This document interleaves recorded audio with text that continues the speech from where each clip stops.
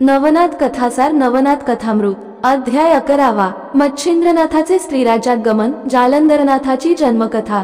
गहिनीनाथास गंगाबाईच्या स्वाधीन केल्यावर गोरक्षनाथास समागमे घेऊन मच्छिंद्रनाथ निघाला. तो तीर्थयात्रा करीत करीत बदरिकाश्रमात शिवालयात गेला.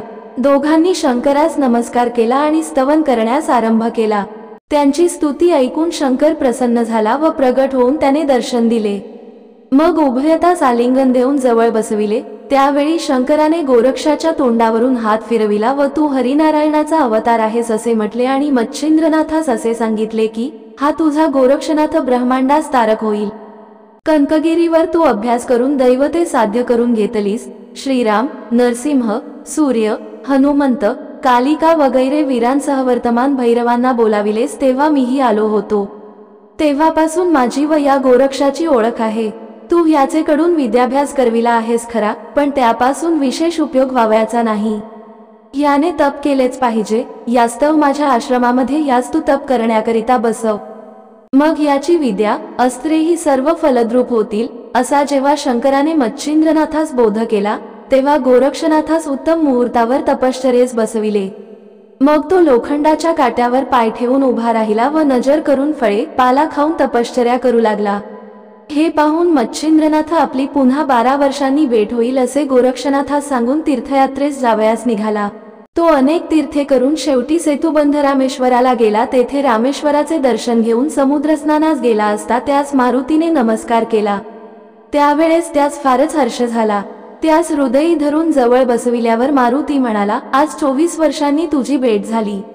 मग त्याने तेथे नाथाचे आदरातिथ्य उत्तम प्रकारे केले. पुढे गोष्टी सांगता सांगता योग्य संधी पाहून मारुतीने गोष्ट काढिली की स्त्रीराज्यात जाण्याचे तू मला वचन दिले होतेस असे असता तू अजूनपर्यंत तिकडे गेला नाहीस तर कृपा करून तिकडे जाऊन तिचे हेतू पूर्ण करून मला एकदा तिच्या वचनांतू मोकळा कर. मच्छिंद्रनाथ येथे येऊन तुझे मनोरथ पुरविल असे मी तिला वचन देऊन ठेविले आहे. ते पूर्ण केले पाहिजे व तूही मला मागे वचन दिले आहेस ते पाळण्याची आता ही चांगली संधी आहे असे हनुमंताने म्हटल्यानंतर मच्छिंद्रनाथ ठीक आहे असे म्हणाले व तीन रात्री तेथे राहून ते दोघेही स्त्रीराज्यात जाण्यासाठी निघाले. ते थोड्याच दिवसात तीर्थे करीत करीत स्त्रीराजात गेले. त्या राज्यात पुरुष नावाला सुद्धा नव्हता. राज्यपदावर एक राणी असून सर्व राजकीय कारभार पाहणाऱ्या स्त्रिया आहेत. त्या राज्यकारभार सुयंत्र चालवीत. असो या दोघांनी राजवाड्यात प्रवेश करून राणीची भेट घेतली. तेव्हा तिला आनंद होऊन त्याच कनकासनावर बसविले. मग त्यांची षोडशोपचारांनी पूजा करून ती हात जोडून उभी राहिली व हा दुसऱ्या बरोबर कोण आहे हे सांगण्यासाठी तिने मारुतीची प्रार्थना केली. मारुतीने तिला सांगितले की तू तप केलेस त्यावेळी मच्छिंद्रनाथ येऊन तुला विषयविलासाचे यथेच्छ सुख देईल म्हणून मी वरदान दिले होते तोच हा होय. तर आता ह्याच्यापासून तू आपली मनकामना पूर्ण करून घे. याप्रमाणे तिला सांगितल्यावर मारुती तेथे तीन रात्री राहून परत सेतुबंध रामेश्वरास आला व रामाचे भजन करीत बसला. इकडे मच्छिंद्रनाथ विषयविलासाच्या सुखामध्ये निम्न होऊन गेला. मच्छिंद्रनाथ विषयविलासाचा उपभोग घेत असता काही दिवसांनी राणी गरोदर राहिली. मग पूर्ण दिवस भरल्यावर प्रसूत होऊन पुत्ररत्न झाले. त्याचे नाव मोठ्या आवडीने मीननाथ असे ठेविले. इकडे कुरुकुळात जनमेजय राजापासून सातवा पुरुष जो बृहद्रव राजा त्याने हस्तिनापुराचे राज्य करीत असता सोमयाग करण्यास प्रारंभ केला. पूर्वी शंकराच्या नेत्राच्या प्रयाग्नीने मदन जाळीला होता. तो अग्नीच्या उदरात वाढत होता. त्यात अंतरिक्ष नारायणाने संचार करून तो गर्भ अग्निकुंडात टाकिला. पूर्णाहुती झाल्यानंतर यज्ञकुंडातील रक्षा घेण्यासाठी ब्राह्मणांनी हात घातला असता मुलगा हातास लागून त्याचे रडणेही त्यास ऐकू येऊ लागले. मग पुरोहिताने ही गोष्ट राजास कळविली. त्या मुलास पाहून बृहद्रवा राजास संतोष झाला. त्यास राजाने आपल्या हातात घेतले व त्याचे मुके तो घेऊ लागला. हा प्रत्यक्ष मदनाचा पुतळा असे राजास वाटले. मग राजा बालकास घेऊन घाईघाईने अंतःपुरात सुराचना राणीकडे गेला. तिचे रूप देवांगनेप्रमाणे होते. कुरुकुळास तारण्यासाठी साक्षात रमा सरस्वती किंवा पार्वती अवतरली आहे असे वाटे. मुलगा कोणाचा म्हणून विचारल्यावर राजाने तिला सांगितले की हा अग्निनारायणाने प्रसाद दिला आहे. मिनकेत तर तुला एक पुत्र आहेच. त्यास ह्यांचे पाठबळ होईल. हे ऐकताच तिने बालकास आपल्या हाती घेऊन स्तनाशी लावताच दूध उत्पन्न झाले. मग मोठा उत्सव सुरू झाला.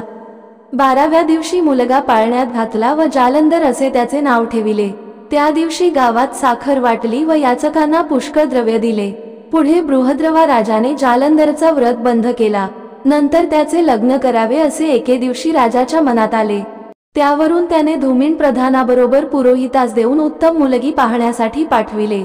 प्रधान गेल्यावर धुमीन प्रधान आताशी दिसत नाही. तो कोठे दूर गेला आहे काय? म्हणून जालंधराने एके दिवशी आईस विचारिले असता ती म्हणाली तुझ्या बापाने तुला बायको पाहावयास त्यास व पुरोहितास पाठविले आहे. तेव्हा बायको कशी असते? असे त्याने तिला विचारल्यावर माझ्यासारखी बायको असते म्हणून तिने त्यास सांगितले. ही गोष्ट लक्षात ठेवून त्याने खेळावयास गेल्यावर आपल्या खेळगड्यास विचारिले की गड्यांनो माझे आईबाप मला बायको करून देणार आहेत. तर ती कशासाठी करतात याची माहिती तुम्हास असली तर मला सांगा. असे त्याने विचारल्यावर मुलांना त्याच्या अज्ञानाचे फारच नवल वाटले. त्यास त्यांनी सर्व कारण उघड करून सांगितले. तेव्हा तो मनात विचार करू लागला की हे जग परम अधम आहे. जेथून उत्पन्न व्हावयाचे ते स्थान आपण वर्ज करावे व अशा अयोग्य कार्यास प्रवृत्त होऊ नये असे मनात आणून तो अरण्यात निघाला. गावाच्या सीमेवर रक्षक होते त्यांनी त्यास पाहिले पण राजपुत्र असल्यामुळे त्यांनी त्यास कोठे जातोस म्हणून विचारिले नाही. मात्र मनुष्य पाठवून ही गोष्ट त्यांना राजास कळविली. ती ऐकताच राजा घाबरून धावत आला व तोही अरण्यात शोध करू लागला.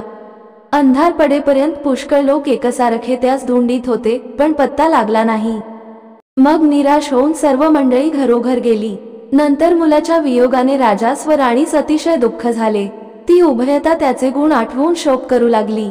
इकडे जालंधर अरण्यात निजला असता रात्रीच वणवा लागला. मग गवत पेटत पेटत अग्नी अगदी जवळ आला. त्या अग्नीने मुलास ओळखले. मग चांगल्या ठिकाणी यास सोडिले असता हा अशा स्थितीत येथे कसा आला म्हणून तो चिंतेत पडला तेव्हा अग्नीने मूर्तिमंत्र प्रगट होऊन त्यास जागृत केले आणि मांडीवर बसवून येथे येण्याचे कारण विचारिले. तेव्हा तू कोण आहेस असे जालंधराने अग्नीला विचारिले असता तो म्हणाला मी तुझी आई व बाप आहे मला अग्नी म्हणतात. मग तू माझा आईबाप कसा? म्हणून उलट त्याने त्यास विचारल्यावरून अग्नीने त्यास सविस्तर जन्मकथा सांगितली. नवनाथ कथासार अकरावा अध्याय समाप्त. ओम चैतन्य गोरक्षनाथाय नमहा ओम श्री नवनाथाय नमहा